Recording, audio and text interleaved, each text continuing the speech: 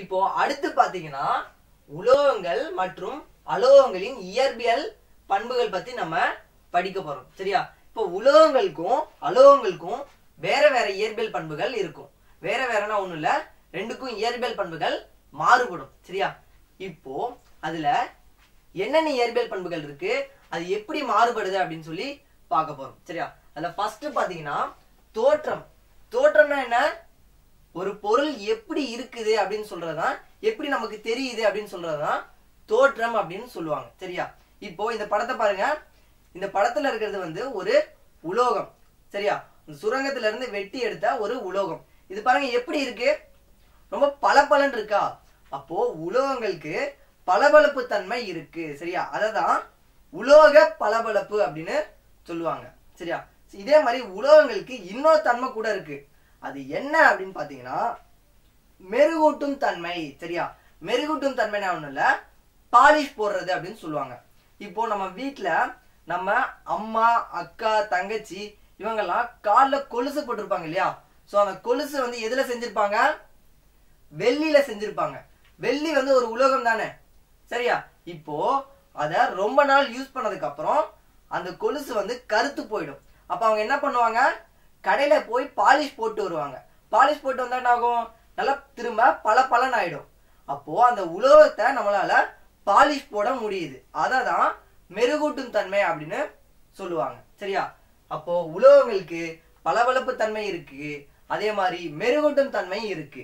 ஆனா அலோகங்களுக்கு பளபளப்பு தன்மை கிடையாது. மெருகூட்டும் தன்மையும் கிடையாது. சரியா? அடுத்து பாத்தீங்கன்னா இயற்பியல் நிலை. இயற்பியல் நிலைனா என்ன? கரெக்ட் திடநிலை திரவ நிலை வாயு நிலை சரியா? இது மூணும் தான் இயற்பியல் நிலைன்னு சொல்லுவாங்க. இதுல உலோகங்கள் எந்த நிலையில இருக்கும்? திடநிலையில தான் இருக்கும். ஏன்னா இந்த பிக்சர்ல பார்த்தாலே தெரியும். இந்த உலோகம் எப்படி இருக்கு? நல்லா கல்லு மாதிரி கெட்டியா இருக்கு. அதுதான் திடநிலை அப்படின்னு சொல்லுவாங்க. அப்போ உலோகங்கள் வந்து எப்பவுமே திடநிலையில தான் இருக்கும். ஆனா பாதரசம் மட்டும்தான் திரவ நிலையில இருக்கும். சரியா? அதே மாதிரி அலோகங்கள் எந்த நிலையில இருக்கும்? அலோகங்கள் வந்து மிருதுவான திடநிலை அதாவது பவுடர் மாதிரி இருக்கும். இல்லைன்னா சில சமயங்கள்ல வாயு நிலைமையில கூட இருக்கும். சரியா? ஃபார் எக்ஸாம்பிள் ஆக்சிஜன் நம்ம எல்லாத்துக்கும் தெரியும். ஆக்சிஜன்ங்கிறது என்னது? ஒரு வாயு. அந்த ஆக்சிஜன் அலோகமும் கூட. அப்ப அலோகங்கள் மிருதுவான திடநிலையில இருக்கும் வாயு நிலைமையிலையும் இருக்கும். சரியா? அடுத்து பாத்தீங்கன்னா அடர்த்தி. இந்த அடர்த்தியும் இயற்பின் நிலையும் கிட்டத்தட்ட ரெண்டும் தொடர்புடையது. எப்படின்னா ஒரு பொருள் வந்து நல்லா திடமா இருந்துச்சுன்னா அந்த பொருளுக்கு அடர்த்தி அதிகமா இருக்கு அப்படின்னு சொல்லுவாங்க. சரியா? இப்போ உலோகங்கள் எப்படி இருக்கும்? நல்லா திடமா கல்லு மாதிரி இருக்கும். அப்போ உலோகங்களுக்கு அடர்த்தி அதிகமா இருக்கும்.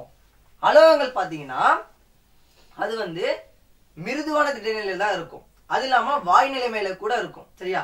அப்போ அலோகங்களுக்கு வந்து அடர்த்தி குறைவு. சரியா? அடுத்து பாத்தீங்கன்னா உருகுநிலை மற்றும் கொதிநிலை. சரி உருகுநிலைனா என்ன? ஒரு பொருளை சூடுபடுத்தும் போது அந்த பொருள் எந்த வெப்பநிலையில உருகி திரவமா மாறுதோ அந்த வெப்பநிலை தான் அந்த பொருளோட உருகுநிலை அப்படின்னு சொல்லுவாங்க. இப்போ ஐஸ் கட்டியோட உருகுநிலை என்னவா இருக்கும்? ஜீரோ டிகிரி செல்சியஸ் ஏன்னா ஐஸ் கட்டிய ஜீரோ டிகிரி செல்சியஸ்ல வச்சாலே உருகி தண்ணியமாக மாற ஆரம்பிச்சிடும் ஸோ ஐஸ் கட்டியோட உருகுநிலை ஜீரோ டிகிரி செல்சியஸ் அதே மாதிரி கொதிநிலைனா என்ன?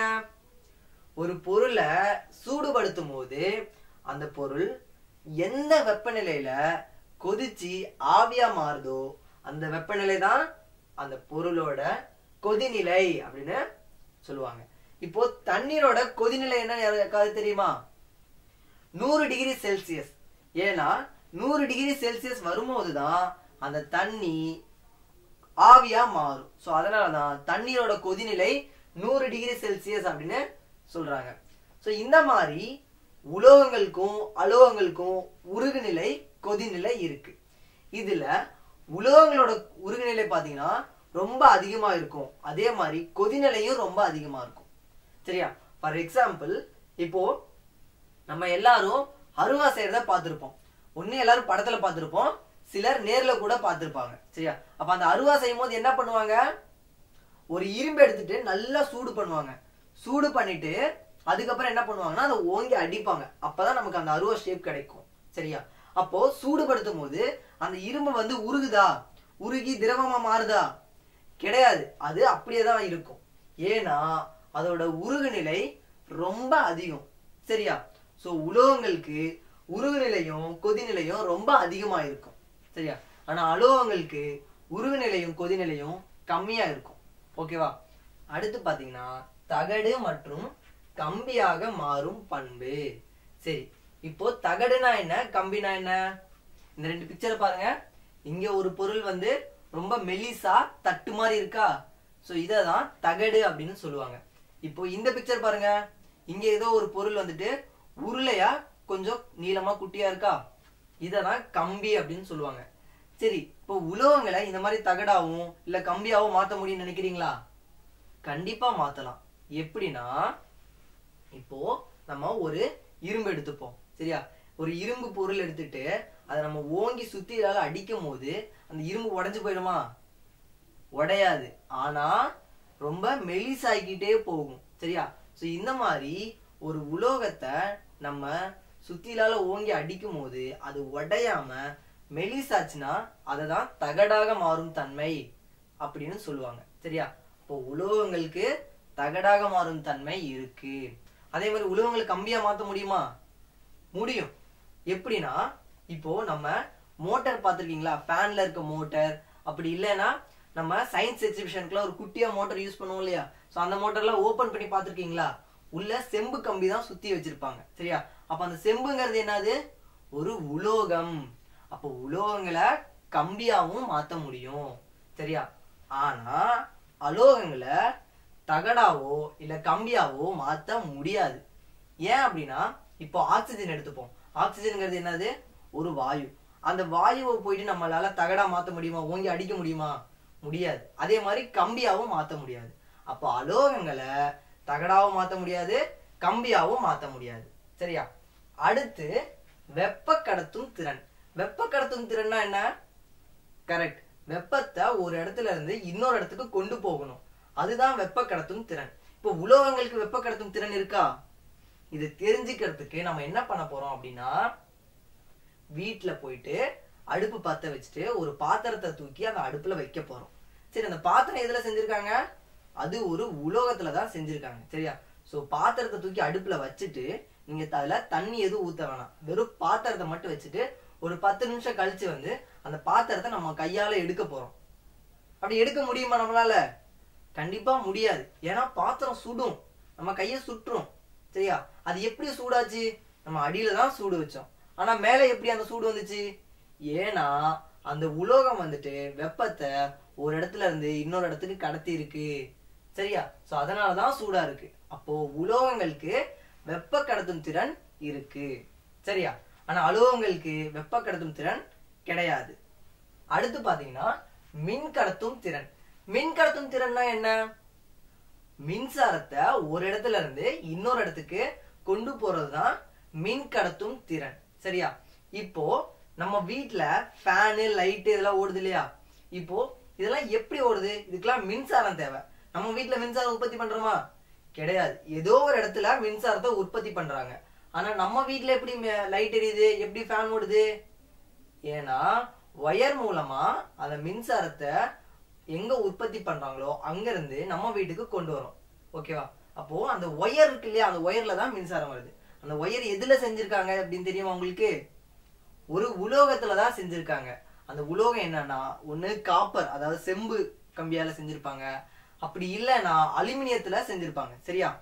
சோ அப்போ உலோகங்கள் தான் ஒரு இடத்துல இருந்து இன்னொரு இடத்துக்கு மின்சாரத்தை கடத்தும். அப்போ உலோகங்களுக்கு மின் கடத்தும் திறன் இருக்கு. சரியா? ஆனா அலோகங்களுக்கு மின் கடத்தும் திறன் கிடையாது. சரியா? அடுத்து என்ன அப்படின்னு பாத்தீங்கன்னா ஓசை உண்டாக்கும் இயல்பு. ஓசை உண்டாக்கும் இயல்புனா இல்ல ஒண்ணும் இல்ல. ஒரு பொருள் அடிக்கும் போது நமக்கு சவுண்ட் வரணும். அதுதான் ஓசை உண்டாக்கும் இயல்பு. சரியா? இப்போ நம்ம கோயிலுக்கு போறோம். கோயிலுக்கு போயிட்டு அங்க சாமி கும்பிட்டுட்டு என்ன பண்ணுவோம்? பெல் அடிப்போம் இல்லையா? சோ அந்த பெல் அடிக்கும் போது சவுண்ட் வரும். ஓகேவா அந்த பெல் எதுல செஞ்சிருக்காங்க?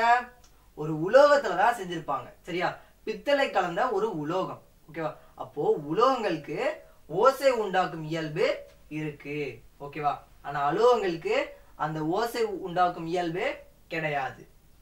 அடுத்து உலோக கலவை. சரி கலவைனா என்ன? ரெண்டு பொருள் சேர்ந்து இன்னொரு பொருள் உருவாச்சுன்னா இதை தான் கலவை அப்படின்னு சொல்லுவாங்க. சரியா? ஸோ இந்த மாதிரி உலோகங்களால உலோக கலவையை உருவாக்க முடியும். ரெண்டு உலோகங்கள் சேர்ந்து புதுசா ஒரு உலோக கலவையை உருவாக்க முடியும். சரியா? ஆனா அலோகங்களால இந்த மாதிரி உலோக கலவையை உருவாக்க முடியாது. சரியா? ஆனா சில அலோகங்கள் மட்டும் உலோக கலவையை உருவாக்கும். அது என்னென்ன அப்படின்னு பாத்தீங்கன்னா போரான் கார்பன் சிலிக்கன் பாஸ்பரஸ். இந்த நாலு அலோகங்களால உலோக கலவையை உருவாக்க முடியும். மற்ற அலோகங்களால உலோக கலவையை உருவாக்க முடியாது. ஸோ இதெல்லாம் தான் உலோகங்கள் மற்றும் அலோகங்களின் இயற்பியல் பண்புகள்.